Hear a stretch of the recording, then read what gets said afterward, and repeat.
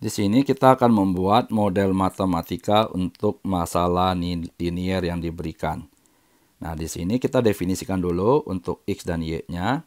Di sini masalahnya adalah ada pakaian model 1 dan pakaian model 2. Untuk X adalah banyaknya model 1. Kemudian Y kita definisikan sebagai banyaknya model 2.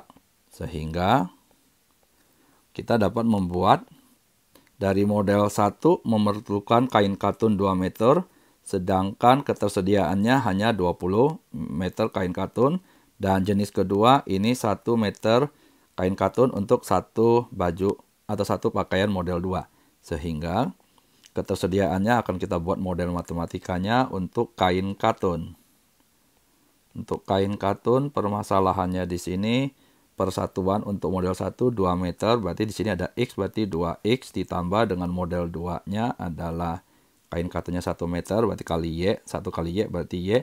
Nah ini tidak boleh melebihi berarti lebih kecil sama dengan dari ketersediaan kain katun 20 meter. Berarti lebih kecil sama dengan 20 nah untuk wall untuk kain wall berarti model pertama satu Nah, se sebelum wall ya, kita masukin dulu yang sutra.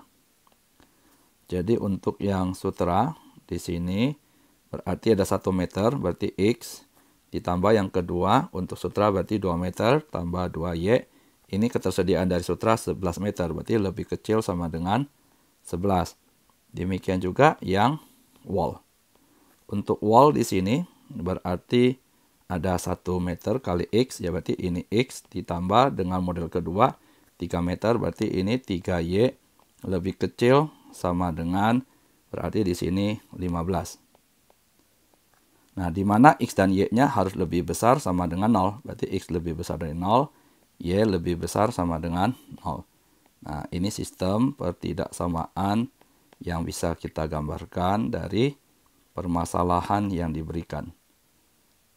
Nah, kemudian Tujuannya adalah mendapatkan penjualan sebesar-besarnya di mana harga jual masing-masing diberikan. Maka kita tuliskan fungsi tujuannya fxy sama dengan satu model baju eh, yang pertama 600.000 berarti ini adalah 600.000 x ditambah dengan 1 juta dari y. Dan yang diminta adalah yang maksimum. Demikian pembahasan kita, sampai jumpa di pertanyaan berikutnya.